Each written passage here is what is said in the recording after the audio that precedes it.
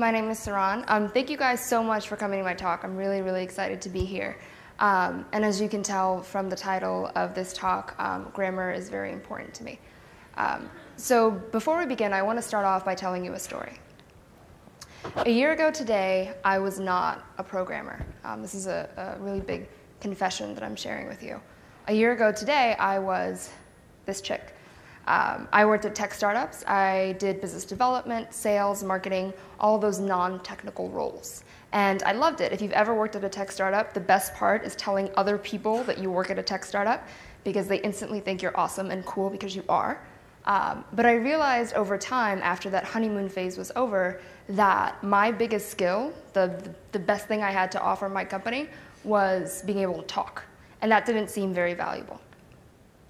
And I was always surrounded by programmers, by these tech people who could build beautiful, powerful things. And so I found myself always creeping on them and looking at what they did and feeling like what they did was so much cooler and so much more interesting than anything I could ever do. So I quit my job. I started learning how to code. I applied and got accepted to the Flatiron School, uh, which is a three month programming boot camp. And when we graduated, I was so excited. I could finally build stuff. I could make stuff. I was valuable. I could be a contributing member to society, as my mother tells me. Um, and this is actually very important. Um, one thing they don't tell you when you graduate from a programming boot camp is that you have to click your heels and hold up a keyboard. Um, otherwise, it's, it's not official. So I was so proud. I was so excited. I, I learned all this stuff. I worked really, really hard. Um, I'm apparently standing on a rock of code stuff that I conquered but I was also painfully aware of all the other stuff left to learn. So there's the stuff that I didn't know yet. There was the stuff I didn't know I didn't know. There was the stuff that I thought I knew, but I forgot, but I didn't know I'd forgotten it yet. So that's going to be a nice surprise in the future. Um, and then, by the way, all the stuff changes all the time. So welcome to programming. And I was painfully aware of how much of a novice I was. And this is the novice track, so hopefully this applies to you too. And this actually describes um, Dreyfus or Dreyfus's model of skill acquisition that says that when you start at zero, when you start a new skill, you start at the novice level, you move up over time to an advanced beginner, then you go on to competent, proficient, and hopefully an expert. And so I don't want to be a novice. I don't think anyone here wants to be a novice. That's not fun. I want to be an expert, and I want that cape. That's who I want to be. So I started asking people and did some research on how can I become an expert? How can I go from this poor novice person who kind of sort of thinks she knows what she's doing to like that cape wearing expert. How do I do that? And the most popular answer I got was reading code, which is both really helpful but also not very helpful because that leads to all these other questions like what code do I read? How often do I read it? And the best way to start an adventure is to start it with friends. So these are my friends. I think I drew them very flatteringly. Um, and so these are my, some of my programming buddies from the Flatiron School. And I got them together and I said, yo, if you get programming people together to start a code reading club, you have to start the conversation with yo. Um, otherwise, it just won't work. So I said, yo, we should read code together. And so we decided that we were going to dedicate one hour every single Sunday at 11 a.m. By the way, this is a huge deal for me. I don't wake up before 2 on a weekend, so I'm, I'm already winning just by declaring that this might happen. Um, and so we decided that we're going to make this a regular thing.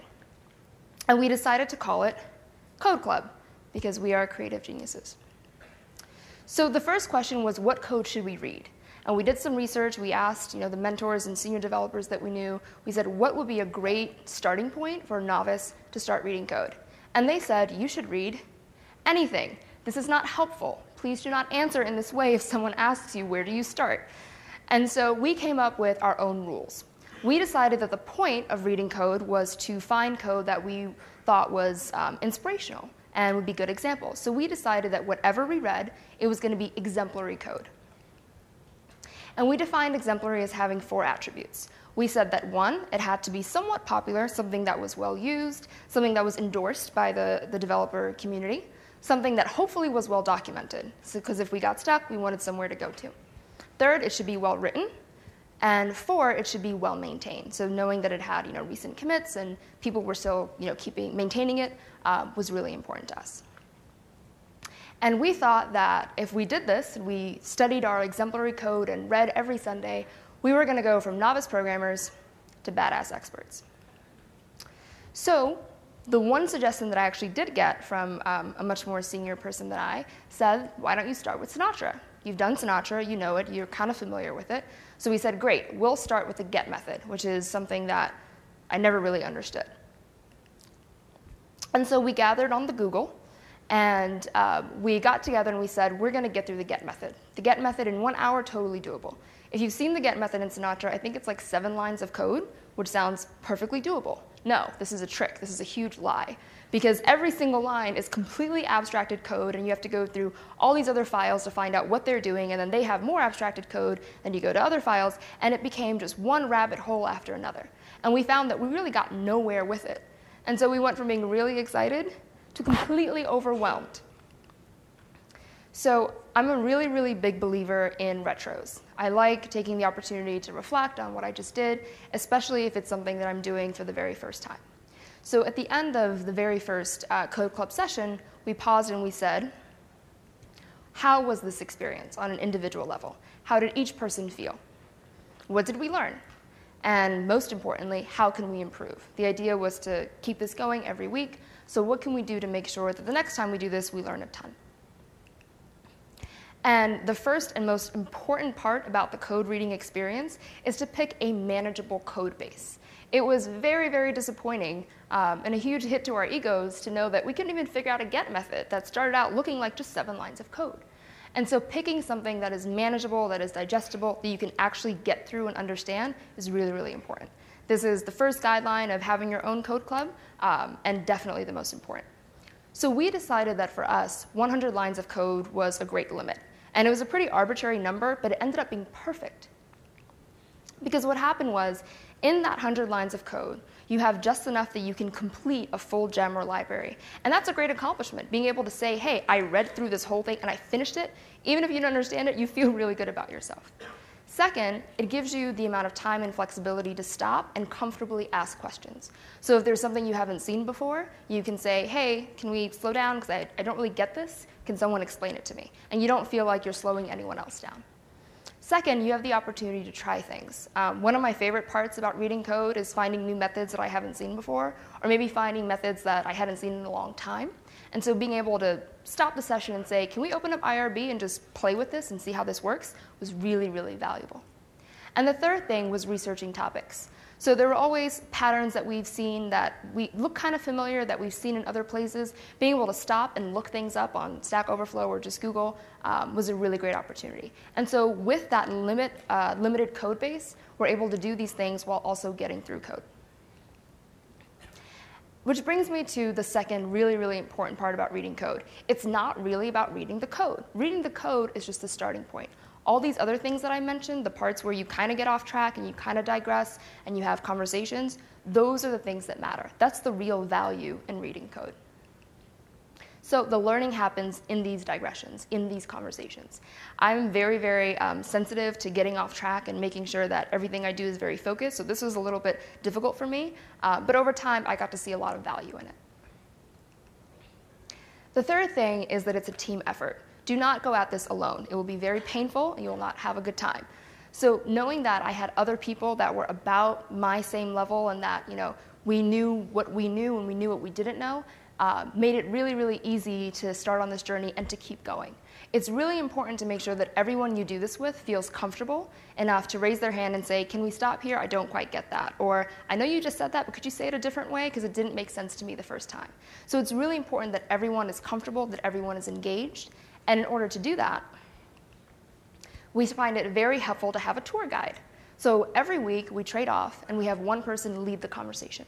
This is just one person to say, hey, we're going to start on line two. We're going to keep going. Stephanie, do you have a question? Dan, what do you think about this? Ian, have you seen this before? And having someone stop at all the right places, make sure everyone is engaged and excited um, is a really important part of this journey. So we found very quickly that finding exemplary code that's only 100 lines is very, very difficult. I think we ran out after a couple weeks. Um, and so, out of necessity, we had to kind of lower our standards. We had to say the most important part is really that we finish getting through the code base. So, we're going to you know, not worry about whether it's well maintained or well written. We're just going to find code that's 100 lines. And this ended up being a really great thing. So one day, the very first week that um, we decided to lower our standards, we were looking at a method that we didn't really think was very well written. And Dan said, This method sucks. How would we write it? And he gave us our very first point of interaction. And that's the fifth guideline, is to find these opportunities to interact with the code. Because in him asking that one question, it led to a very interesting conversation. One, about what the intent was. What was the point of that method? What was it doing? Two, why was it written that way? Was it because the developer had a certain style? Was it because it was a fork from a different gem and they were just kind of you know, maintaining that, uh, that writing style stylistically? And how does it fit into the overall design and architecture of the entire code base? Did this one stand out as being worse than the other ones, or did it just kind of follow the general pattern? And so these questions were awesome because now it's not just about reading code, it's about going on a little adventure where we got to pretend that we were the developer and we were the ones that, um, that were building this code and connecting what we knew in our world and in our workplace to this specific situation. So having that moment of interaction really changed the game for us. So this leads to the sixth point, which is it doesn't have to be exemplary. Actually, reading bad code is awesome because the fact that you get to say as a novice that this is bad code and you get to like you know have an opinion on someone else's work, you feel really good about that. It makes you feel really really adequate. Um, and so it doesn't have to be exemplary. It can be really bad, and you can learn a lot from that as well. So everything was going swimmingly. It was going awesome. And then one day we encountered a gem that talked about rack middleware. And in that conversation, Dan, who comes up with awesome things to say, says, Guys, I don't think I really understand how rack middleware works. And we said, Dan, it's, it's obvious. This is how it works. And then we realized that none of us really knew how it worked. Um, and in that conversation, we found a knowledge gap. We found this, this thing that we thought we understood, that at one point we did understand, that we just forgotten about. So the following week, instead of doing our regular code review session where we just read through the code, we instead took a break. We did some research on what rack middleware was, how it worked, when you'd modify it, what you'd do with it. We watched a few Railscast videos, did some, you know, looked at some blog posts, and the following week we shared that knowledge together. So we had a much higher level conversation, but it just emphasizes the fact that it's not really about reading code. It's about reading code that's a launching point for more interesting conversation. The eighth thing is you got to keep at it. So I've never told my code club this, and they're going to find out which is awesome. Um, but I thought it was kind of a chore. It really wasn't fun at first. It wasn't that exciting. It was something that I felt like I had to do. I don't like waking up in the morning on a Sunday. So it was really something that I had to force myself to do. But over time is when I saw the value. I was really looking forward to that first code reading session when it ended, and I said, yeah, I'm now like 10 steps closer to being an expert. But that's not how it works. It really takes time to get the value from it. So keep at it long enough, and hopefully you'll see the value as well. So everything was going swimmingly again. And then we read the OmniAuth Meetup gem. So right now, I'm a developer for the New York Tech Meetup. Yes, it's a meetup group. Yes, this is a real job. And there, we use the OmniAuth Meetup gem to authenticate our members. And this is something that was very interesting because it was very unexpected for me. For me, I read code because I felt like that's what I had to do to be a better programmer. That's what everyone told me to do. But when I looked at a gem that I found personally interesting and personally relevant, it made the whole thing so much more exciting because I used that gem. I used it all the time. I knew what it was supposed to do. I knew it wasn't what it wasn't supposed to do, and having the opportunity to look under the hood and see how it did it got me really, really excited. And so the ninth guideline is to find interesting code bases, things on topics or problems that maybe you've had, things that you've worked on before. That makes it a whole lot more interesting. And then there are the unexpected benefits, things I, really didn't consider at all. The first is that you get to explore the organization of the code base. So we really focus on reading literally the lines of code, but just as interesting was the file structure, was what are the folders called and what are the files named and how do they work together? And we got the opportunity to see that um, and get exposed to that from all different types of gems and libraries. The second was you get to really see how collaborative code is. When you start as a programmer, people tell you that open source is amazing and this beautiful thing where people from all over the world collaborate and build great things together. Uh, but when you actually see it for yourself and you see that that gem that you love is really just a fork from this other gem, and really this gem is dependent on all these other things that you didn't think would ever have a connection, that's really powerful. And it makes the whole thing so much more beautiful. And the third, and honestly the most important one, especially as a novice, is it's a great opportunity to build your confidence. I didn't fully appreciate how intimidating it was to open up source code until I had to do it for Code Club. Until that first day when I said, guys, we're really going to open up this gem and try to understand what's going on. And I think it was maybe a month and a half into doing this, so it's been about like six code clubs at this point, uh, or at that point.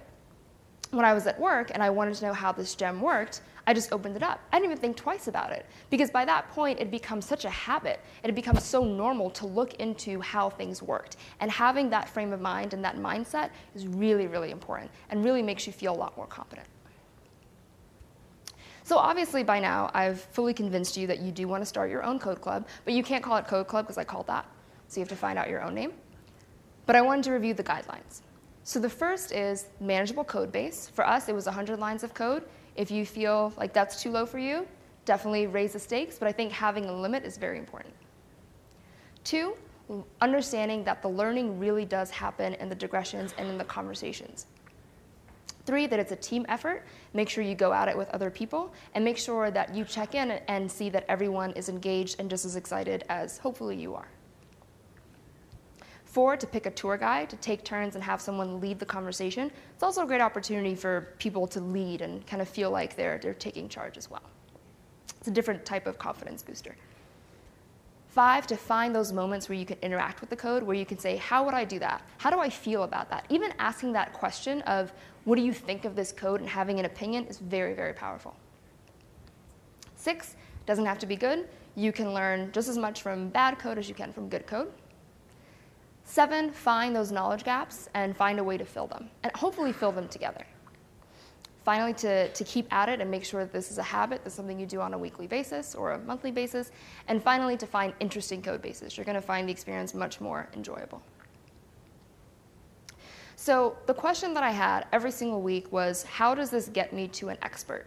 I wanted to feel that moment where I said, yes, now I am so much closer and I can feel myself growing and getting that cape finally. And it didn't really happen quite that way. That transformation wasn't quite as visible and as tangible as I would have liked it to be. And so I thought a lot about why. I thought a lot about if I can't feel the change in a very tangible, physical way, how do I know that I'm becoming an expert? And I found this uh, really great uh, infographic on Twitter uh, a couple months ago that I've repurposed for my own agenda um, that I think really explains the process and the result. So this is what information looks like. Um, it looks like Skittles. And information is just all these little data points that are separate and isolated um, that happen to kind of relate in just by being in the same bucket. And then eventually, you're able to connect these little dots and you're able to have knowledge. And knowledge is being able to tell a story, being able to say, I can start from that yellow skittle in the corner, and if I go right, I can get to that green one, and then I can zoom, go all the way down to orange. And then if I make a left, I'm or, or right, I'm at green, and then if I make a right again, I'm at red. And that's how I get from yellow to red. It's understanding that's, that path. And then wisdom is saying, you know what? I don't need to go through all those skittles. I can just go straight from yellow to red if I make my own path. And you know what? I don't even need that path to be straight. It's going to be all crooked because I'm a rebel.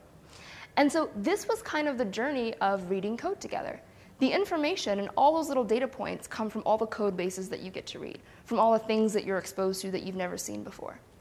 Those points where things connect and you have knowledge and you have these stories and these paths, that comes from having really good code reading sessions. That comes from working with other people who give you their input, asking those questions that you're going to ask that are very insightful, and it also comes from leveraging everyone else's uh, experiences. So when I go to work and I use a gem, I can say, hey, I've seen this before. When Dan goes to work and, and uses a, a specific method, he can say, I've done that before. And in doing that, we're finding all these connections that would have been way harder to find um, on our own. And then finally, we'll be able to see that of all that noise, of all those patterns and, and designs and concepts and all those lines of code, the ones that we really care about are just yellow and red. And those are the ones that keep popping out over and over again over time. And eventually we have wisdom and we're much closer to being experts. So these are just a handful of the code bases that we've read. If you're interested in looking at them, I think most of them are about 100 lines. I think one or two maybe a little bit bigger. Um, but take a look, and I'd love to hear kind of your stories um, and see what you get from that. that is uh, my website, bloggytoons.com slash code clubs. There's a page that has links to all of these gems and a few other ones as well. That's the end. That's my handle. I pretty much um, tweet mostly about programming and like cake, so you've been warned. Um, but and that's the website again. So I think that's pretty much it. Any questions?